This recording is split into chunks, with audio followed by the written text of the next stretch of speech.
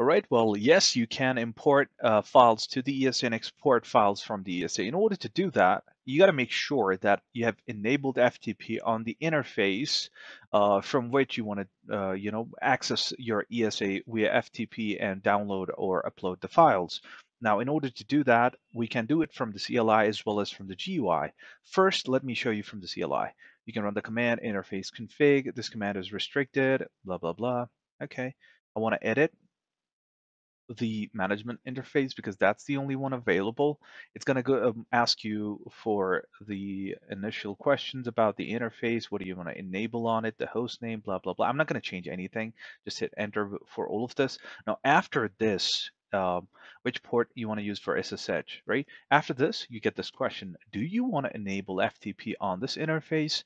You say, well, yes, I've already enabled it, so I won't need to go ahead and commit the changes Otherwise, once um, you make this change, you'll have to commit the changes. Also, it's going to use the default port 21, so I'm good with that. So hit enter, enter, enter, enter for the other um, other questions that it asks, and be done with it. I'm just going to press Control C. So the first part of my config is done. So let me just uh, quickly show you how to do it from uh, the GUI. All right, I'm here at the GUI. I'm just going to say Son and my password, which is something that I'm not going to tell you. Okay, I've uh, hit enter.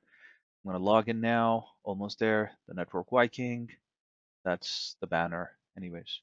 So go to network and then IP interfaces, right? Network and then IP interfaces right here.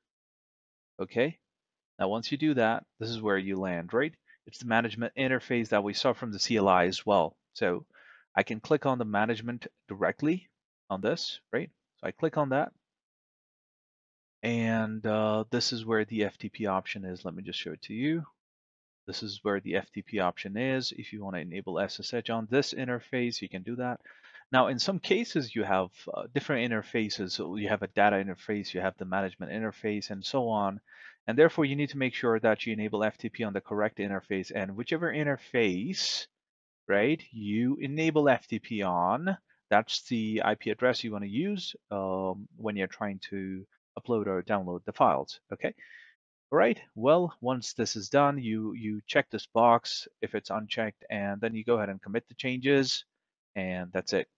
Well, uh, let's go ahead and check how we can do it. Okay, I'm using uh, Internet Explorer to do it. When I tried it from uh, Chrome, it didn't work. So yeah, uh, I just went for um, Internet Explorer, and I, as I've seen it work only on this so far. So I got an error there, so I didn't want to waste any time with that. Anyways, when you enter the IP address of that interface on which you enabled FTP, just begin it with FTP colon forward slash forward slash instead of HTTP or HTTPS, just use FTP. That's it. Hit enter, and there you go. Well, it is going to ask you for a password, uh, username password after this. In this case, I was playing around with FTP, and that's why it didn't ask me for all that. So these are the files. As you can see uh, on my ESA, I have the configuration folder right here. You click on that, and if I click on any of these files, I'll be able to access the contents of that file. You have the config files, you have the dictionaries, uh, the URL list that you can import as well. So all this stuff. So you can just directly click on it and see the entries right there, right? And in the same way, you have uh, the diagnostic folder, do the FTP, blah, blah, blah, blah, blah, uh, up to high level directory. Well, it does not provide me access to it. And let's say upgrade logs. If I click on that, it gives me the upgrade logs and I can download those upgrade logs from here. Uh, let me see, actually, I haven't tried it before. Yeah, you see right here. It gives you access to it and that's pretty much it, right?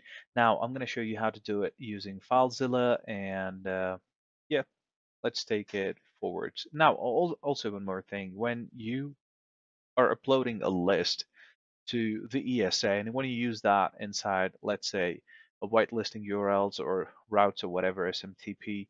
Um, in that case, just upload that to this configuration folder, and that's important to note, right? Well, thank you for this part. sir. Let, let me just go ahead and uh, show it to you from FileZilla. Thanks. Yeah, let's let's move ahead. All right, so here, this application is called FileZilla, and this is what I'm using to connect to the ESA, and this is where I mentioned the IP address of the ESA. This is where I put the username. This is where I mentioned the password, and in this case, I'm using FTP.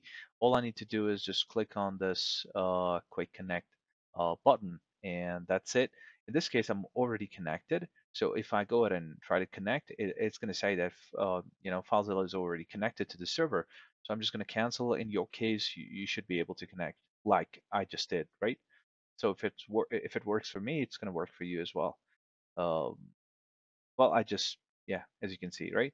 You can see the logs here in case there's any error. You're trying a SFTP or any other port, it's going to show those. Um, I mean those logs right here. But if you follow um, these steps exactly as I've shown, then you're not going to face any problems. Just click on Quick Connect and that's it. Now you're going to see the same files in here in this section. Let me just highlight it for you. In this section, you're going to see the folders, the, the very first page that you were uh, able to see on the IE. This is where you see it, right? and you have uh, the folders in here. You have the configuration folder, which is right here right? You see, again, the same stuff. You see the configuration files. You see the SLBL, uh, the safe list, block list uh, file in here as well. And you see all the other information, the dictionary, dictionaries and whatnot, right? And in the same way, you can actually go ahead and uh, check information in the other folders as well. Now, how do you go ahead and copy um, files from FileZilla? Just uh, drag it literally. Just get hold of this using your left button of the mouse or your keypad, whatever, and then just drag it to the desktop and or whatever folder you want to keep it in, and that's it. It will be downloaded. Now you want to upload, do the same thing. Drag the file directly into this folder. And if it's just a simple file, you want to do that, just go ahead and drag it here and you should be good. Right? And that's the easiest way of doing it, I believe. Um, if you have any questions, put it down in the comments, please, and I'll be very happy to help. Mm, yeah, if you're new to the channel, please subscribe and have a great day ahead. Thanks. Goodbye.